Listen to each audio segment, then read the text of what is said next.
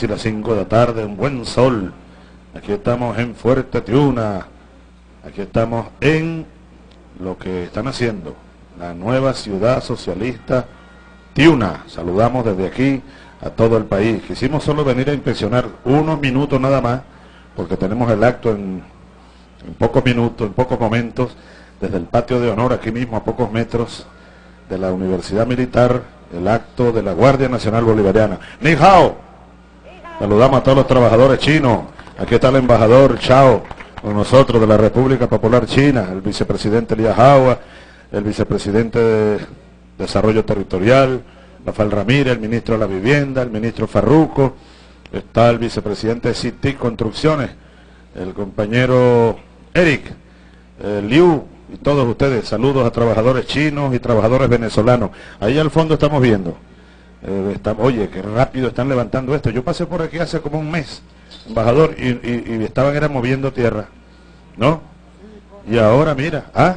Con la eficiencia, la laboriosidad de los chinos aquí trabajando junto con los junto con, los, con los venezolanos. Un aplauso pues para la laboriosidad. Saludos a los trabajadores, epa, cuidado allá arriba, compadre. Ajá. Bueno, esto es parte del proyecto Ciudad Tiuna. Qué maravilla. Yo solo quise mostrar unas imágenes, repito, por unos minutos este es el primer edificio de cuántos? Diez edificios en este sector. Aquí, dale, saca el micrófono ahí por favor y dáselo. Solo garanticen que tenga salida. ¿Sí? Ajá. Entonces, eh, Elías, fíjate, allá están las montañas del valle. El valle, los edificios del valle, la parte plana, ¿no?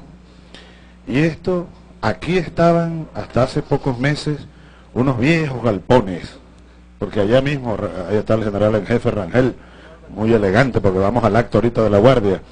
Nosotros que fuimos a comunicaciones, aquí estaba el batallón Juan de Dios Agraz. Rafael hace embajador, por favor. Embajador, embajador, por favor. Además para que combinemos aquí los de corbata. Fíjate, los elegantes, ¿no? Hace casi 40 años yo hice mis pasantías en este lugar, aquí donde estamos parados. Era un joven alférez de 20 años. Y estaba por graduarme en la escuela militar y era del servicio de comunicaciones y electrónica. Andaba estudiando los radios, los teléfonos de campaña, los códigos, las claves del, ¿cómo se llama? El método Gronfeld. ¿Te acuerdas del método Gronfeld? Los centros de mensajes. Y entonces aquí pasamos nosotros varios meses de pasantía y de curso básico. Este, era, este terreno, en este terreno estuvo durante más de medio siglo unas viejas instalaciones, aquellos cuarteles que ya se estaban cayendo además, eran, una eran como una coladora, se les metía el agua por todos lados, problemas. Ahora estos batallones, ¿dónde están, Rangel? Ahí está otro micrófono, mira. El batallón Agraje está aquí en Fuerte Tiuna y los otros dos batallones de comunicaciones están uno en Barina y uno en Maracaibo. Claro, porque todos los batallones de comunicación estaban aquí en Caracas. Imagínate tú, ahora tenemos un despliegue, ¿no? Un despliegue estratégico militar para la defensa integral del país. Las condiciones de oficiales y tropas han mejorado y siguen mejorando. Y entonces destinamos estos terrenos para la construcción de cuántos apartamentos? Son 116 edificios en total. Apartamentos en este eh, 23 mil tenemos. Todo Ciudad Tiuna. Son 146 hectáreas en toda Ciudad Tiuna para 23 mil viviendas, presidente. Vean ustedes, vean ustedes esa, esa maquinaria vino de China, ¿verdad? Todo eso viene de China. Enfoquen allá, muchachos, arriba. Las grúas, ¿eh? la tecnología, la tecnología, el impulso con la gran experiencia de China, ¿no? Bueno, imagínate tú, construir viviendas para 1.300 y tantos millones de habitantes. ¿Cuántas viviendas habrá construido China en los últimos 10 años? Millones. No sé, se pierde de vista. Millones y millones. Y ahora, ¿cómo están ustedes? Ni hao, trabajadores venezolanos. Bueno, vamos a caminar por aquí, ¿será? Me ocurre que caminemos por aquí unos minutos, teniendo cuidado, embajador, ¿no? Porque estamos en la zona de trabajo. Rafael Ramírez, ¿algún comentario más? O Molina, a ver. A ver, rápidamente, presidente, estamos en nuestra querida ciudad Tiuna, donde se están construyendo 23 mil viviendas, y aquí con las empresas chinas estamos trabajando de conjunto 116 edificios para 13 mil viviendas. Actualmente están en construcción. solo la empresa china. Sí. Solo las cosas hay que explicarlas bien. Solo la empresa Hay que explicarlas bien. Los números hay que tenerlos bien claros. Yo siempre ando, ustedes saben, con esa guerra de la matemática. ¿eh? Entonces, solo la empresa china, CITIC, ¿no? ¿Eh? en alianza con empresas venezolanas, trabajadores. ¿Tú eres chino? Pero tienes cara de chino ya. Por el sol. ¿Qué tal, muchachos? Saludos, un aplauso pues para los trabajadores chinos y venezolanos, la unión chino-venezolana. ¡Epa! ¿Qué tal, compadre? ¿Cómo está la temperatura allá arriba? Tengan cuidado. Máxima seguridad. ¿Cuántos pisos va a tener ese edificio? 12 pisos. Vamos por planta baja. 1, 2, 3, 4, 5, 6, 7. Estamos por la mitad más o menos, ¿no? Y en total la empresa CITIC va a construir 13 mil viviendas. 13 mil viviendas. 13 mil viviendas que estamos financiando. ¿Por qué vía, Rafael? Explícanos. Bueno, nosotros tenemos financiamiento de recursos propios de la revolución y de la cooperación del Fondo Chino Venezolano. Ah, el Fondo Chino Venezolano, ¿ves? Y algunos critican los acuerdos con China. Algunos siguen diciendo que nosotros y que le estamos regalando petróleo a China. estamos intercambiando ¿eh? economía. Es una cooperación beneficiosa mutuamente, tanto al pueblo venezolano también, también corresponde al desarrollo de China. Nosotros, nuestros dos países fraternales, pueblos hermanos, vamos a trabajar juntos y lograr el desarrollo común como nuestras relaciones estratégicas. Así es, embajador, gracias por esa intervención. Son eh, convenios de beneficio mutuo, pues. Nosotros enviamos petróleo a China y China, bueno, nos transfiere tecnología, maquinaria, eficiencia. Estas cabillas son producidas aquí, son producción nacional. Son cabillas de allá de la siderúrgica del Orinoco, el hierro venezolano, el acero venezolano. ¿Qué te parece? Hao, ¿ya hablan español ustedes? Sí. ¿Ya hablan español? Hao, ¿cómo estás? Saludos, ¿cómo es tu nombre? ¿De qué parte de China eres tú? Desde la provincia de. ¿Y tú? Ven acá, hermano. ¿Cómo te llamas tú? William Bustamante. William, ¿de qué parte eres tú, William? De oriundo del Maracaibo, Estados Unidos. De Maracaibo, eres un maracucho viviendo en Los Teques. ¿Cuántos trabajadores tenemos ahorita aquí? Empleados. ¿Cuántos trabajadores elaborando? 550 trabajadores. Y estamos en la primera etapa nada más. Vamos a llegar a 2.000 trabajadores. Esta es la primera etapa de cuántos edificios similares a ese. 116 edificios. Ahora, en primer lugar, bueno, hay muchas cosas que decir aquí en pocos minutos, pero esto es el impulso de la gran misión Vivienda Venezuela, financiada con los recursos del petróleo porque antes que esa petrolera se la llevaban ¿eh? y se enriquecieron aquí, la gran burguesía, y al pueblo, mire compadre, allá está, enfoquen allá, los ranchos de los cerros, los ranchos, ¿eh? allá está el valle, claro, eso ha mejorado bastante, ¿no? Los servicios, el fortalecimiento de los barrios, pero al pueblo le negaron, a la mayor parte de la población, pues, le negaron una vivienda digna, Ahora, estos miles y miles, dijimos que la empresa CITIC va a construir 13.000 apartamentos aquí en esta zona y más allá están los rusos. Las empresas rusas van a construir 6.000 y los bielorrusos 4.500. 4.000. Hasta ahora van adelante los rusos, porque arrancaron primero, pero los chinos están alcanzando a los rusos. ¿eh? y los bielorrusos que estaban un poco quedados por algunos problemas logístico, pero ya eso está... Pero en fin, en total, las viviendas a construir aquí en terrenos militares son 23 mil viviendas. 23 mil. Y todavía queda terreno disponible para llegar a 30 mil. Esa es la meta, cerca de 30 mil. 30 mil viviendas, Elías, a cinco personas por vivienda son ¿eh? 150 mil personas. Y esto es prioridad para los más necesitados. Los más necesitados, los más pobres, la clase media, Farruco, esa clase media profesional que le cuesta conseguir una vivienda en el mercado capitalista. Un apartamento de estos, ¿cuánto cobran Farruco en el capitalismo, el mercado capitalista? este supera el millón de bolívares. claro, y además, y por la zona donde está, en el valle, ¿eh? por lo menos un millón doscientos. ¿Son apartamentos de cuántos metros cuadrados? Tenemos de distintos metros, de 66. 45, 51 y, y 70 metros cuadrados. Áreas, áreas verdes, áreas comunes. Por ahí está la maqueta del proyecto.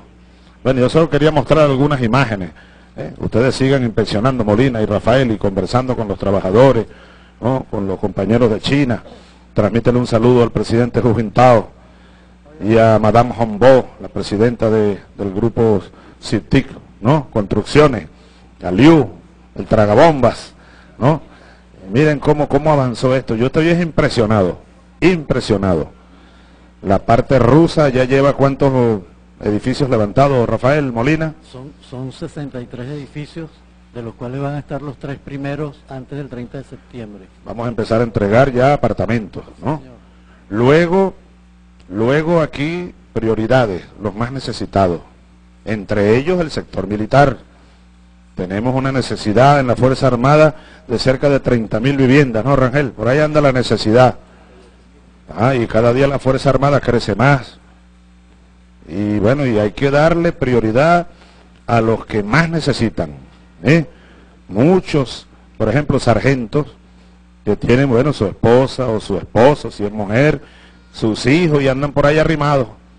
¿eh? Hay que empezar por ahí, los sargentos, los oficiales más jóvenes que están ya casados, que están haciendo familia, los tenientes, los primeros tenientes, los capitanes. Bueno, y de ahí hacia arriba, todos los grados todos los grados, si algún general a estas alturas no tiene vivienda propia, cosa que es un poco difícil, ¿no? Pero bueno, si alguno no lo tuviera, aquí la tendría, ¿no? Los oficiales superiores, oficiales subalternos, tropas profesionales, los trabajadores. Tú eres abogado, mira, abogado trabajador, ¿ves? Profesionales que van surgiendo gracias a qué? A la revolución. Este es el camino de la patria, la revolución, la independencia somos libres, ahora volamos libres, ¿eh? como el águila, como el cóndor. Bueno, les saludo y les felicito. Me voy porque tengo un acto ahí del Día de la Guardia Nacional. ¿Algún comentario adicional? Liu, ¿algún comentario? Eric, perdón, Liu está por allá. 那个陈总统放心，我们会全力以赴。目前跟那个呃住房部、 呃 PDVSA 还有军方，我们都形成了一个紧密的团队，我们争取提前这个完成这项工作。Que nosotros que nosotros ya tenemos bastante confianza por la culminación de ese... La empresa cementera venezolana se llevaba el cemento al exterior y a veces nosotros importábamos nuestro propio cemento, ¿te das cuenta? Importábamos nuestro propio acero, se lo llevaban y nos lo revendían mucho más caro, claro, a precio internacional. Es el capitalismo. Ahora solo con la liberación del país y el socialismo, entonces el trabajo, ¿ves? El trabajo, eso viene de las minas de hierro y pasa por la siderúrgica. Las manos venezolanas de cientos, miles de trabajadores y trabajadoras producen el acero y la cabilla y todos estos materiales, ¿cómo se llaman? Ángulos, perfiles, el cemento también, miles de manos obreras venezolanas producen ese cemento y mira cómo se convierte el acero, el cemento, la madera, gracias a la tecnología, gracias a la cooperación, en este caso con China, allá con Rusia, ayer con Turquía, estábamos viendo allá en Playa, Playa Grande, en Vargas, unos edificios muy bonitos con tecnología turca, ¿eh? cooperación internacional. Venezuela antes era Miami, Miami y Miami. Y Miami era, mire, se llevaban los reales para allá, y los reales para allá, y los reales para allá, y aquí la miseria. éramos una colonia. Ahora somos libres y aquí estamos con China, ayer con Turquía, allá con Rusia, con Bielorrusia, con Portugal, con Brasil, con Argentina, con Cuba. Somos libres, solo libres podremos seguir construyendo no solo estos nuevos edificios, miles de viviendas para el pueblo, dignas, cómodas y baratas, sino que podemos seguir construyendo la patria, la patria, la nueva patria, la patria verdadera, la patria venezolana. Un apartamento de eso, como decía Farruco, un millón de bolívares por lo menos. ¿En cuánto lo vamos a vender nosotros? Depende, depende porque hay un subsidio. Si tú, por ejemplo, ganas dos salarios mínimos, ¿eh? que son, ponte tú que ganes eh, 3.500, 4.000 bolívares al mes, ¿cuánto paga? 60. ¿Ve? Lo que él paga es... paga 40%. Paga 40 de lo que cuesta la vivienda.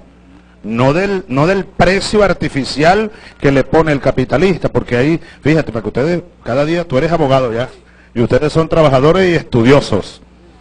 Resulta que construir algo tiene un costo. ¿eh? Fabricar algo tiene un costo real. Tú, tú te pones a sumar cuánto gastamos en cabilla, tantos bolívares. Cuánto gastamos en cemento, tantos bolívares. Cuánto le pagamos a los trabajadores, tantos bolívares. ¿Cuál es el costo aquí en este terreno de un apartamento de eso? De 70 metros cuadrados, 350 mil bolívares por... Lo que cuesta, oye bien, lo que cuesta construirlo, con todo, con las máquinas que trajimos de China, todo. Ponle tú 350 mil bolívares. Ese es el costo real. Ahora, si esto estuviera en manos del capitalismo, de la gran burguesía, ve, entonces ellos dijeran, bueno, lo que cuesta, ellos le, inflan los costos, ¿ves? Y si tú quieres comprar un apartamento, te dicen, no, eso costó 600 mil bolívares. Duplican. Y entonces te vete, bueno, y como yo tengo que ganar algo, págame un millón.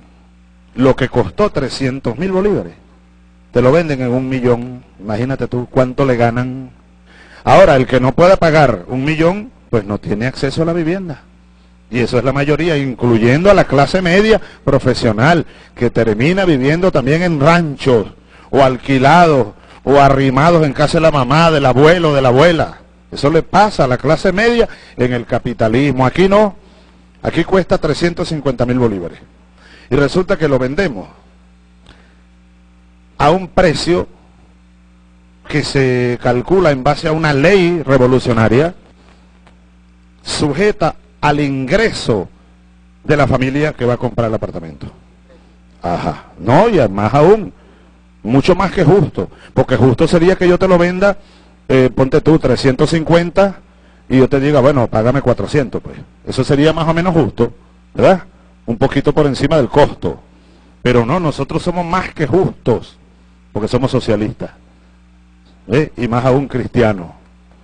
¿Eh? a cada quien según sus necesidades.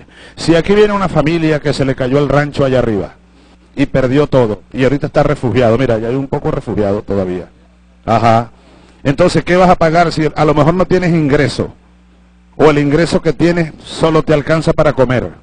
El subsidio puede llegar a casi 100%, es decir, te damos el apartamento sin que pagues nada. Ahora, cuando comiences a obtener un ingreso superior, empiezas a pagar un poquito un poquito. A largo plazo, ¿a cuántos años?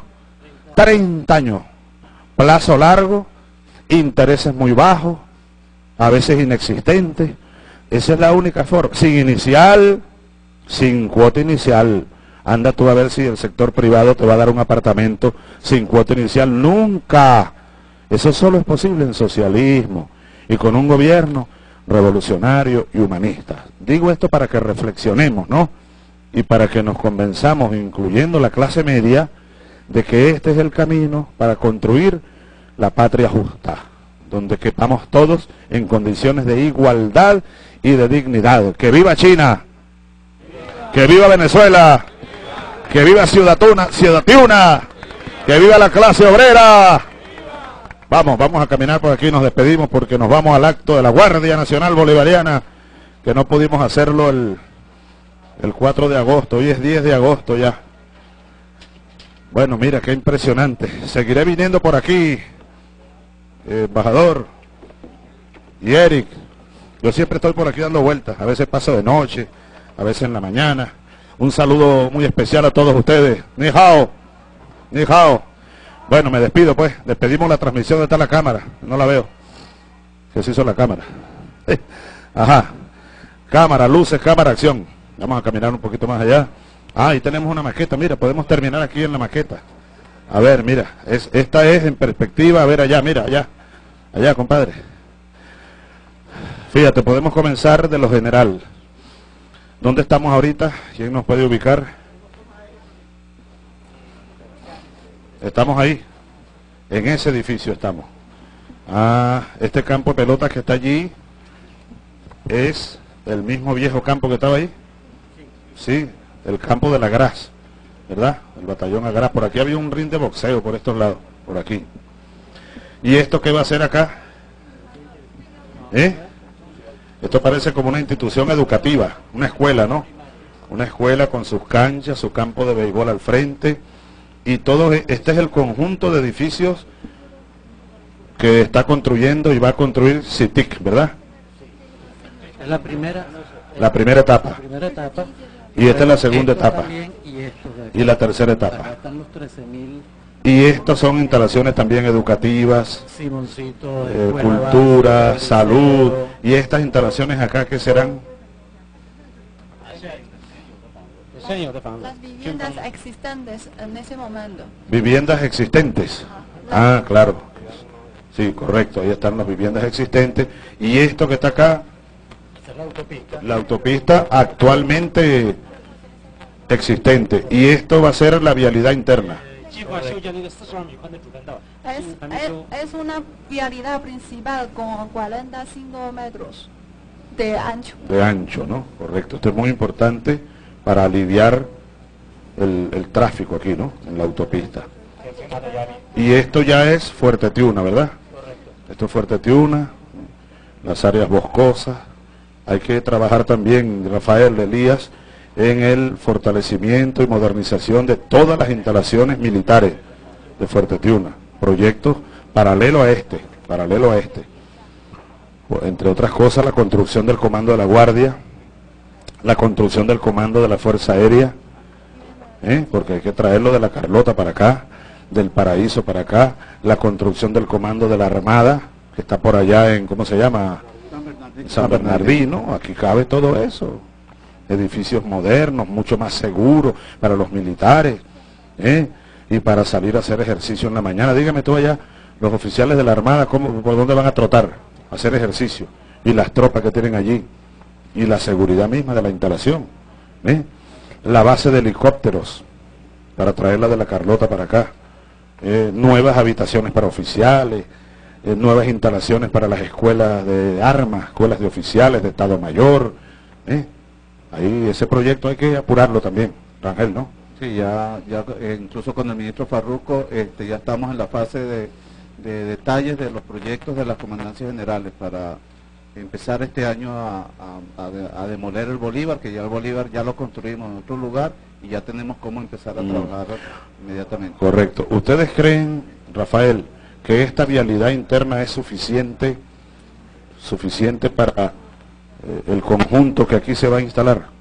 Haciendo todo un estudio, una evaluación de transporte, vialidad, combinar incluso sistemas de transporte para, bueno, someterlo a la consideración y meterlo dentro del proyecto rápidamente, ¿no? Eh, hay varios sistemas que se han visto, incluso de transporte masivo, ¿no? Eh, lo estamos trabajando en conjunto, presidente. Una de las ideas que se viene trabajando hace tiempo, Farruco, Molina, tú, Rafael, es un segundo piso para esta autopista estudien esa posibilidad. ¿no? Pero hay que tomar decisiones rápido, porque esto se va a comenzar a poblar, pues. Igual como Ciudad Caribia, igual como Ciudad Belén. ¿eh? Yo no sé si esta avenida pudiera ser una autopista paralela a esta, por ejemplo, en vez de avenida, no sé. ¿Mm? ¿Qué dices tú, Rangel? o por acá más arriba, no sé. Está planificado para, de aquí hacia abajo se engancha con una vía sobre el río Valle de manera de poder sacar eh, eh, todas esas personas hacia el centro de, la ciudad de una mejor manera. Claro, un proyecto. sí, pero fíjate, esta avenida por las características que, uno ve a simple vista, no es una avenida rápida como autopista, ¿no? Porque va por el medio de la, de la ciudad, ¿no? Ajá. Ahora, si uno pensara por aquí, por, por el pie de monte, para evaluarlo, ¿eh? y, bueno, hay que enganchar arriba, no sé, con, con tazón arriba en algún momento, en algún punto. Es para estudiarlo con tiempo. Porque imagínense ustedes que aquí va a haber ahora, cuando terminemos todo esto, ¿en cuántos años? En unos seis años, cuando terminemos el próximo periodo de gobierno, ¿verdad? Estaremos terminando todo esto. Bueno, es cerca de 150 mil personas. Claro, hay que aclarar, no son personas, en su gran mayoría, no son familias que van a venir del interior para acá, no. Es la misma población de Caracas ¿eh? y, bueno, y de las inmediaciones de Caracas, que van a, reubicarse, por ejemplo, de los cerros de aquí, los sitios, ¿cómo se llama? Eh, los, sitios frágiles, peligrosos. Y, bueno, y también familias que a lo mejor trabajan en los, viven en los teques, o en Vargas, hoy andan por ahí arrimados, o, viviendo alquilados en Vargas, o en el corazón de Caracas, o en Petare, bueno, ahora Además aquí pasa el metro, hay que recordar que hace muy poco la revolución construyó el metro, la línea, el Valle Coche, pasa por aquí mismo. ¿Mm? Bueno, solo hago esta reflexión, maravillado por el avance y este terreno de béisbol, pero no le veo iluminación, hay que meterle luces, ¿no? Para jugar de noche también. Ahí podemos echar una partida. Ahí jugué yo bastante pelota. Ese es un campo grande, el campo de la grasa, del batallón Agras. Bueno, ahora sí, y esto que vimos aquí, por acá vimos, ah, esto ya es una visión de, uno ya más detallada, ¿no, Farruco? ¿Qué nos dices tú, Farruco, de esta arquitectura? Tú que eres arquitecto, ¿no? ¿Tú eres arquitecto? Sí, sí. sí ¿verdad? Todavía, ¿no? Sí, sí, presidente. Bueno, es, muy importante, eh, primero, valorar la idea general y la valentía de tratar de resolver el problema tú de sabes, vivienda en Caracas. Perdóname que te interrumpa, pero yo soy así, tú sabes. Ah, Yo desde, desde muy joven, uno, uno veía, por aquí uno trotaba, hacíamos ejercicio, y más allá aquellos terrenos abandonados de Fuerte Tiuna. Pero yo me la pasaba también los fines de semana en el rancho allá arriba, en el valle, o arriba en, por allá por Kennedy. En fin, yo siempre dije, pero ¿por qué aquí hay tanto terreno plano, útil, potencialmente útil y no se, y no se utiliza, embajador. Ve, claro, el mundo militar estaba separado del mundo civil. Y como dijo una vez el general Mata Figueroa, aquí podía caerse el mundo más allá de Fuerte Tiuna y nosotros ni nos enterábamos. Estamos aislados, nos tenían aislados, ¿ves? Con un concepto elitesco. ¿eh? Ahora fíjate el concepto, abrirle esto al pueblo ¿eh? a los sectores medios, a los trabajadores, a los profesionales. Perdón que te he interrumpido. yo por eso le decía que es un gesto de valentía que nace de la sensibilidad y de la conciencia. ¿no? Usted señalaba hace un rato ese paisaje de los cerros allá arriba. ¿no? Uno no puede verlo si es una persona sensible sin, sin de alguna manera sentir un, un golpe en la conciencia, en el alma. ¿no? Y con estos terrenos aquí. Entonces, me parece una arquitectura racional, hermosa, se construye muy fácil, económica, pero sólida. Pero estamos en, estamos en esto, presidente. Fíjate, lo mismo que la Carlota. Aquí ningún gobierno se atrevía a tocar estos espacios. No, no, con los militares no se metan, déjenlos quietos allá. Manténganlos con caña, cobre y otras cosas, ¿no? Nosotros eh, somos, somos los militares abriéndonos al país compartiendo con el país en la base aérea libertadora y estamos construyendo también miles de apartamentos con el apoyo de Bielorrusia. Y así en muchos otros espacios que antes eran reservados a veces para nada, para nada. Ahora veo también que vamos a sembrar topochales aquí, mira, fíjate. Los topochales de Caracas, ¿qué te parece, Farruco? Bueno. Como para una canción de esas de Cristóbal Jiménez. Topochales en Caracas, todos son topochos, ¿no, Rafael? ¿Ah? ¿No? Los topochales de Caracas, mira. ¿Qué te parece, Teresita? Los topochales de Caracas, mira. ¿Viste? ¿Ah?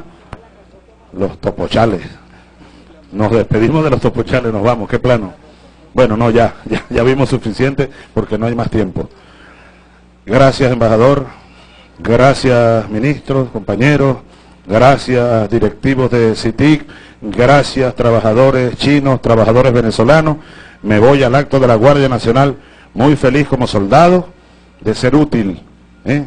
a nuestro pueblo. El viejo lema de la escuela militar, forjar hombres dignos y útiles a la patria. Gracias a todos, gracias a todas, que viva la gran misión vivienda, que viva el pueblo, que viva el socialismo. Muchas gracias, buenas tardes, buenas tardes, buenas tardes, buenas tardes.